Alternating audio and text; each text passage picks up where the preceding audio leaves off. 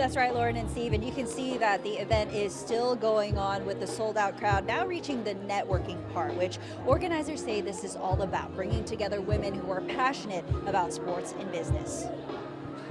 So, women leaders, how are we feeling today? There we go.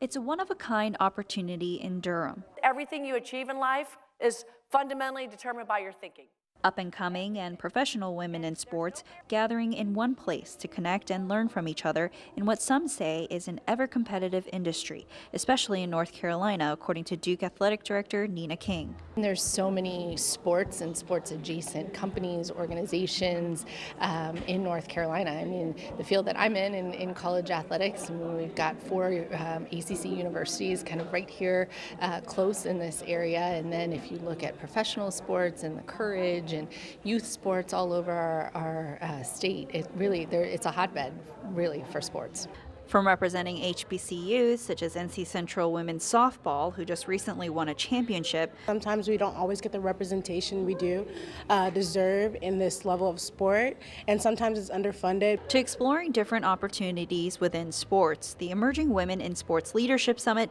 is meant to lift each other up. I think that they definitely they've empowered themselves a lot more. I mean, just watching the growth and the investment and the enthusiasm around women's sports all around the country, um, across all genders uh, being interested and, and inspired uh, by female athletes competing is just, it's really great. There's a lot of momentum right now with what's going on with women in sports and women in leadership.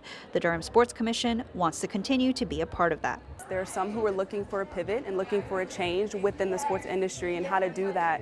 Uh, we hope that they walk away with, with those keys and, um, and insights. And according to Menendez, there's more than 150 attendees, most of whom who are in this room. They also all got a chance to take professional headshots, and the fun doesn't stop there. The summit is about to wrap up in about an hour, ending with a happy hour where the networking can continue. Reporting in Durham, Cindy Bates, ABC 11 Eyewitness News.